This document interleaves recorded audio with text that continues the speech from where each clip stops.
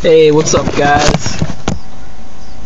Joe here once again, and I am do a little demo on how to pack. Alright, so cigarettes are in filter top up here to the top of the pack, and this is the end where you light it.